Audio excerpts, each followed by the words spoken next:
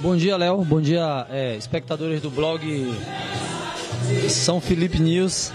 É, bom, hoje fomos convidados aí pela direção da, da Secretaria de Assistência Social, né?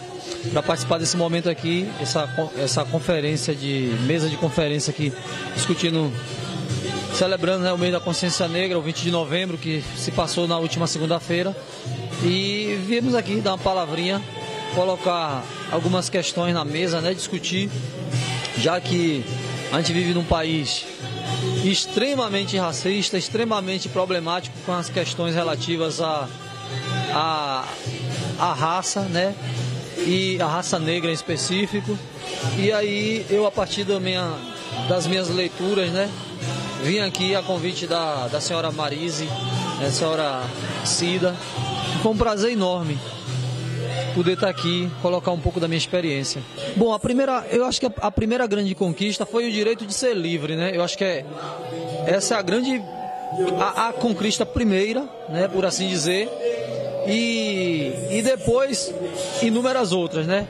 Desde o direito de poder de poder é, estudar, que era um direito que a gente também não tinha, por exemplo, existiam constituições no século XIX que proibia a criança negra de é, sentar nos bancos da escola, né?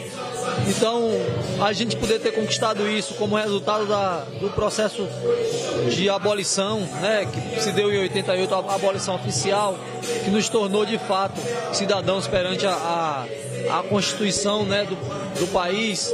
Então, eu acho que isso foi uma outra conquista bastante fundamental, porque sem educação a gente não dá um passo. Né? Depois nós tivemos leis trabalhistas que beneficiou também ao povo negro.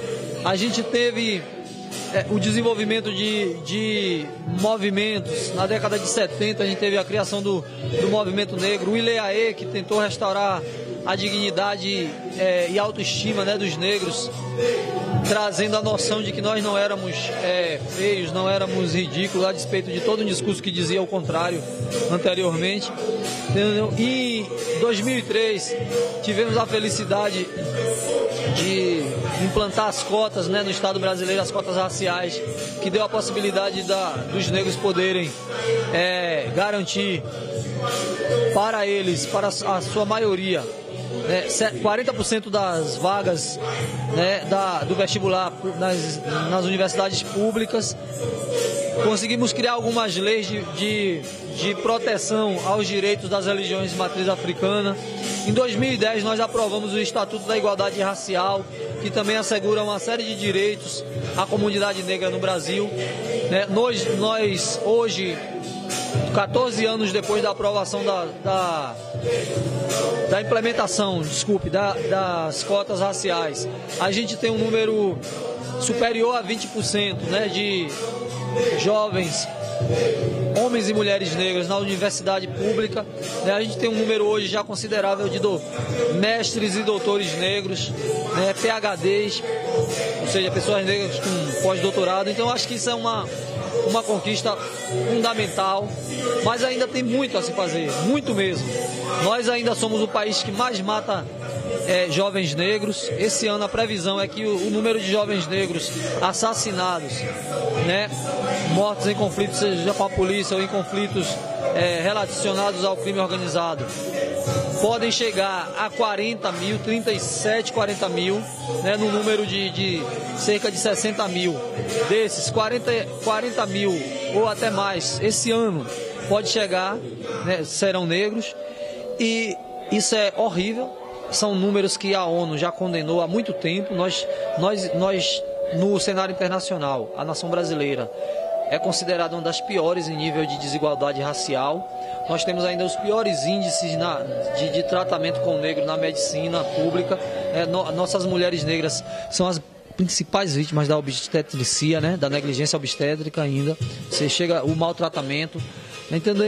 Enfim, a gente tem muitos passos a dar ainda. A qualidade da escola, da educação caiu, decaiu muito. Mas justamente onde, onde as populações negras estão presentes, porque o Estado não quer chegar lá com a qualidade, uma educação de qualidade. Então acho que a gente precisa superar isso. E são momentos como esse aqui que a gente tem a oportunidade né, de colocar isso, de fazer a, a, a com que a luta não morra. Eu acho que é muito importante por essa razão. Carlinhos também está com o lançamento do livro. Eu queria que ele falasse um pouco sobre esse livro aí que ele está lançando aí aqui na nossa cidade. Então, é, esse aqui é o, o, o meu livro de poesias, né, que é um, um, trabalho que eu venho fazendo já há algum tempo. É, a Codicó e outras afrodiasporicidades. É um livro no qual eu tento, né, à luz da, da linguagem poética, eu tento falar um pouco né, o que foi essa trajetória do homem negro, da mulher negra, né, na, na chamada afrodiáspora, ou seja, na, nessa diáspora que se deu a partir da África, né, a partir do, do, tráfico negreiro, né? Quer dizer, o homem e a mulher negra que saem na condição de escravizados de lá e passam a, a estar presente em qualquer lugar do, do globo, né? A partir do, a partir do século XVI, né? Com, a, com a, as grandes, as grandes é, e perversas é, empreitadas da Europa colonizadora, né? Então, a partir daquele momento ali, o negro vai saindo e ele vai construindo uma trajetória que ao mesmo tempo é de dor, a perversidade de ser tirado do seu seio familiar, comunitário, de ser obrigado a ser escravizado, né, a, trabalhar como escravo em alguma região longínqua da sua, de perder laços familiares, de ter suas práticas culturais todas abolidas. Então, eu me debrucei durante sete anos, eu me debrucei sobre, sobre essa história auxiliado também pelas minhas pesquisas que eu vinha fazendo é, enquanto estudante né, de cultura afro. E a partir daí eu é, construí uma série de 30 poemas que resultou nesse livro que eu estou tendo o prazer de lançar agora nesse mês, né, mês da consciência negra, e, e agora em dezembro provavelmente na segunda ou terceira semana, eu vou estar fazendo um lançamento público para toda a comunidade no Coreto, em frente à Praça da Matriz, né? Para que a comunidade possa, possa é, apalpar de fato né, esse trabalho, senti-lo, né, sentir ele fisicamente. Eu vou disponibilizar ele também em PDF, mas eu inicialmente é, é esse o, o, livro físico mesmo. Vou estar disponibilizando para a comunidade. Um livro que tem também um apelo didático. Eu trago muitos fatos relacionados à história da, da, da, do povo negro na diáspora. E por essa razão eu, eu aconselho que, né, que as pessoas adquiram, não simplesmente pelo, pelo sentido de adquirir, adquirir um livro, né? mas pelo sentido simbólico que ele pretendeu resguardar, né? sobretudo em valorização à nossa comunidade negra como um todo, né? A gente está no Recôncavo, está numa cidade também do Recôncavo, predominantemente negra, acho que seria fundamental, brancos e negros, enfim, todos, inclusive professores, né? Eu indico para que possa a gente trabalhar nas escolas. É, é um trabalho ao mesmo tempo de arte, né? Poesia, mas é também um trabalho, um material didático também, que pode ser utilizado com essa finalidade. Bom dia, São Felipe News. É um prazer sempre estar aqui é, falando com vocês que estão sempre prestigiando esse blog, que é de muita responsabilidade, né? Através de Léo. E dizer que a importância do mês, né? Do Novembro Negro, da consciência negra. Aonde o nosso, né? É, vice-prefeito Choquinha teve logo no início, nos procurou e disse a importância que teria isso no município.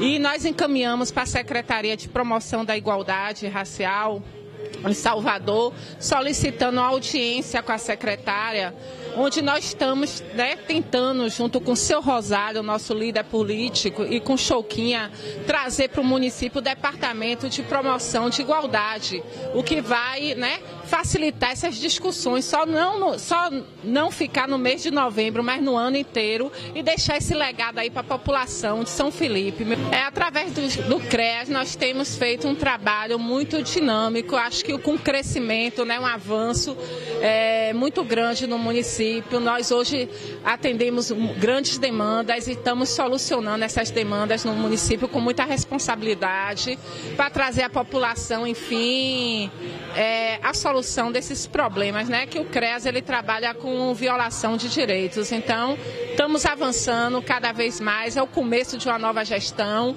Pedimos à população que tenha paciência, que tenha calma, que todas as gestões é assim, né? Quando começa né, o início de uma gestão, mas acredito que em menos né, de alguns meses, seu Rosário, junto com o vice Chouquinha, vai estar. Tá ajeitando tudo isso e as coisas vão começar a ir para o eixo, né? E com certeza teremos uma gestão brilhante no município de São Felipe. Estamos participando aqui do evento hoje que fala sobre é, a consciência negra. Hoje em nosso país, infelizmente, ainda existe o preconceito racial, que na verdade não poderia estar existindo mais, né? Afinal, o sangue que corre na veia do branco corre também na veia do negro. Somos todos iguais, não há necessidade de haver preconceito. Como queria você destacasse para a gente aí os eventos que o CRAS estará realizando é, durante esse fim de ano? É, será realizado o coral né, com os grupos de idosos, que nós temos os idosos, os grupos da sede, do Sapezinho e da Vila Caraípe. Aí vamos trazer aqui para a cidade para estar tá realizando o coral do Natal. E também uma confraternização com esses grupos também, que, que será realizado aqui na sede. Bom dia, bom dia a todos e a todas. É, bom, o evento é, foi maravilhoso, né? É, com a colaboração de todos que ajudaram. Saiu realmente muito bom, entendeu? É, só temos que parabenizar as pessoas que desse evento, que organizaram e tudo mais, né? Cida, Marisa, Jefferson Borges, Fátima, Allen, a equipe toda, né? De ação social. Enfim.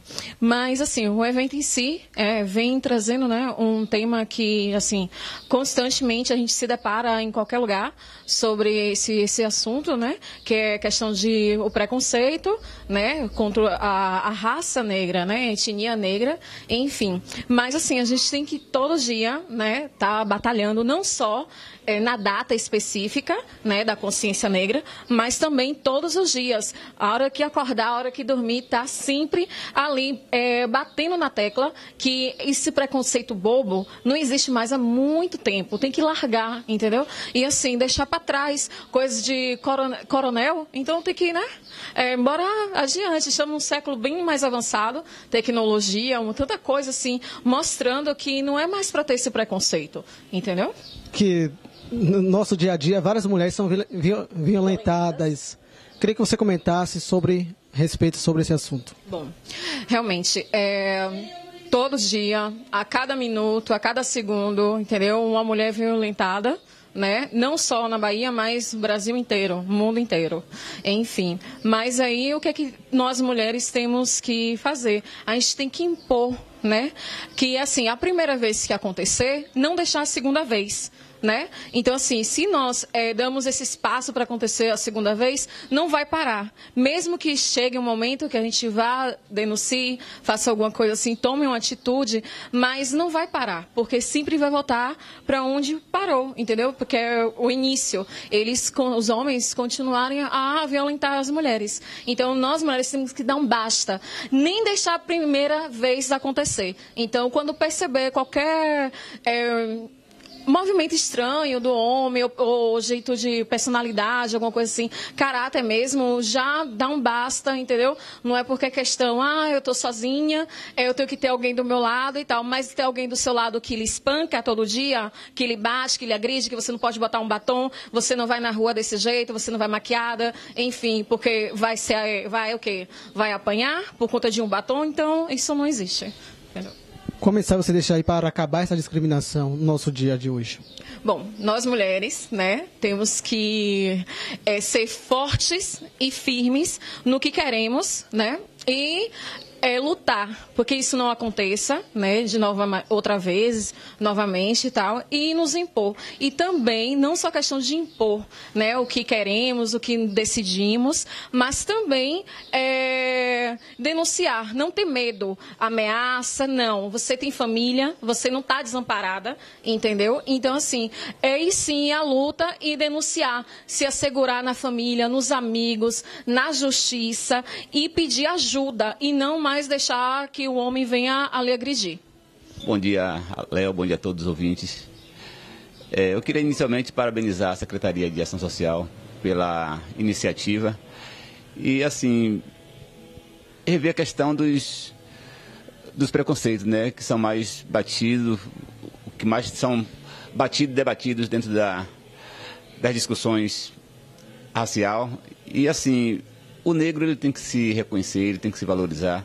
E acima de tudo, não ver só um lado negativo, um lado do preconceito. Ver as belezas que existem na negritude, dentro da sua arte, dentro da sua criatividade, da sua musicalidade.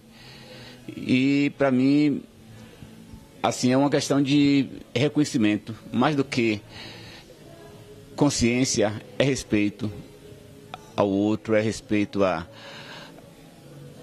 a sua cor, a sua raça, é respeitar a raça dos outros e, assim, acabar com essa intolerância, né? Dentro das, questões afro, dentro das questões é, da desigualdade em todo o sentido e que isso possa ser banido, mas que o negro em si, o que a humanidade, ele se reconheça como é, com a cor que é e o que ele é, promovendo bem comum para toda a sociedade. Obrigado. Márcio, hoje ainda é visível esse preconceito na nossa sociedade. Queria que você falasse um pouco desse preconceito que existe hoje no meio de nós. O preconceito existe, ele vai existir sempre, mas assim, eu acho que a única forma de, de banir é o reconhecimento. O reconhecimento, o respeito, é, o fortalecimento de movimentos de forma ética, de forma moral, porque estamos vendo né, a coisa totalmente ao avesso. Eu acho que mais do que a melanina da pele, são as consciências. E hoje a gente está vendo a coisa mudar, a sociedade se mostrar, a sociedade reivindicar, a sociedade em si é, trazer os contextos éticos e a gente vê assim que o caráter não está na cor, está na personalidade de cada um. E as emissoras, o mundo, as, os meios de comunicação estão mostrando, a justiça em si está mostrando o que é ser cidadão. Não simplesmente ter a cor, mas ter o respeito, ter a honestidade. Tarde, Léo. Boa tarde, internautas da São Felipe News. Bem, é um prazer receber você aqui no nosso evento, que é do Serviço de Convivência, Fortalecimento e Vínculos. É, estamos finalizando a Semana da Consciência Negra, do, do movimento, que na verdade é um movimento nacional, né? Em todos os estados se fez e é bom a gente ressaltar, a gente reafirmar que ser negro no Brasil não é fácil, mas a gente está aí lutando, está com garra e é nosso dever é poder ajudar o próximo, independente de raça, de cor, religião, gênero, não importa. O importante para a gente é ser feliz, é poder estar tá ajudando o próximo sempre. E estamos aí. Muito bom. Queria também, Jefferson, que você destacasse a importância que tem este evento para a nossa comunidade. Bem, a nossa comunidade, ela persiste né, em ter um conhecimento aberto, necessitamos de urgência mesmo em colocar é, novos ideais. As pessoas ela têm que estar praticamente prontas para todos, mas aptas também a ser favorecida, a receber informações de forma concreta. A gente não passa nada aleatoriamente aqui, então, de uma certa forma, isso tem que ser bem vinculado e não é à toa que, né, que a gente está aqui no Serviço de Convivência e Fortalecimento de Vínculos, que é criando vínculos com a comunidade, que a gente sustenta novos ideais, novas propostas, e aqui está de portas abertas a todos. Vocês pretendem trabalhar outros temas referente à comunidade? Sim, sim, sempre. É fim de ano, é dezembro, praticamente já está chegando, mas o Novembro Negro persiste todo nesse mês, o início praticamente a gente já começa a articular como vai ser as propostas, o que vai colocar né, para as pessoas e futuramente, agora em 2018, terá muitas coisas, muitas novidades a vir, projetos de verão, então isso vai intercalar graduadamente preconceito ainda é muito visível em nossa comunidade. Queria que você falasse um pouco sobre esse assunto e como combater esse preconceito nesse dia, de, nessa sociedade de hoje. Bem, Léo, é um pouquinho complicado. Combater, eu acredito que a gente inicialmente não faz, né? A gente não consegue combater, mas é, a gente está aí ajudando a gente está realmente abrindo a mente das pessoas de uma certa forma, né, aos poucos, que isso é tipo um trabalho de formiguinha, tem que ser plantado uma semente e nesse formato que a gente está é, idealizando, mas não é nada agressivo, porque também o preconceito, sinceramente, está dentro de cada um. A gente é preconceituoso, a gente tem que se afirmar que a gente tem preconceito por tudo. Você dizer que não é preconceito hoje em dia é, de uma certa forma, camuflar uma situação que está diante de você.